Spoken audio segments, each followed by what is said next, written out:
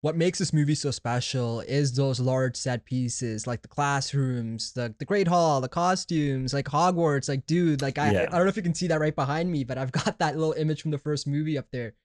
You Oh yeah. yeah, that's like Yeah, things that yeah, get yeah. Yeah, I engraved. do. Yeah, that gets engraved into your head, like when you're a child watching this movie for the first time. Yeah. Now, I'm just really fascinated as someone who worked on the movie. Do you get the same feeling or the same magic when you first walk onto these set pieces the same way as a viewer does when they watch it?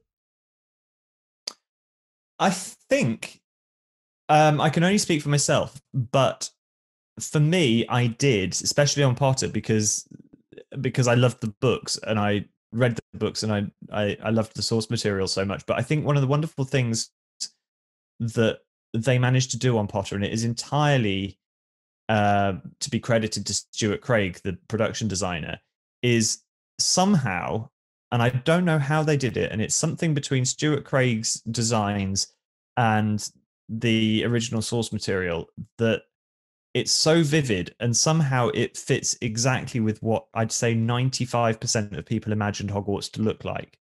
Like you don't go into Hogwarts and you, you I don't remember any of us going into a set and going, "Oh, that's not that's cool, but that's not what I imagined." Yeah, like yeah, you walk sure. onto the Great Hall set and you go, "This is exactly exactly how I imagined it to look in my head." And I mean, I, I can't I don't know what it's like watching the film, like, and it's hard, probably hard for a lot of people now to say what it's like watching the film for the first time and going, "That's what I imagined Hogwarts to look like," because Yeah. everybody's so familiar with it and it is so everywhere these days. But, um, but yeah, I remember like seeing the Burrow for the first time, or I mean, any of those sets. They all, they would just, you could you could just look down the row of people going onto the set for the first time, and everybody was going, "Nailed it." yeah, this is exactly what I saw in my brain when I was reading the books.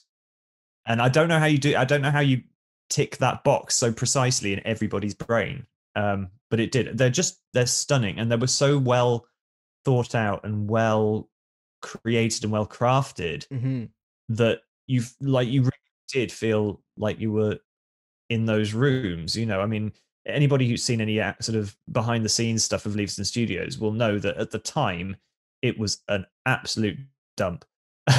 you know, it was a derelict. It was a derelict air airfield hangar aircraft engine factory kind of Jeez. it had been used for loads of things. There was this old runway that we used to park all the cars on, and then we were basically in old warehouses and old aircraft hangars for the most part. So the roofs were leaky, it was rusty, it was cold, but inside there they'd created these amazing spaces, like you know, like the Great Hall, and you walked you walked through these sort of dark, dingy places that you know were past their prime by a long way, and you'd open this wooden door, and suddenly you'd be in this You're transported into this magical magical world, Great right? Hall, and it was yeah, yeah, and you would complete and like and, and I mean I know I'm not the only person to say it, but you would you could open the drawers and everything you would expect to find in a drawer that you will never see ever in the films. The drawers, you know, everything you could ever possibly want to make it feel real was there. You know, you'd, in the burrow, for instance, you'd open one of the drawers in the kitchen and it would have odd sets of knives and forks that didn't really match, but were like perfect. They were exactly what the Weasleys would have had. You never see them. Nobody ever opens the drawers, but they're there and that's mm. what makes it so incredible and so special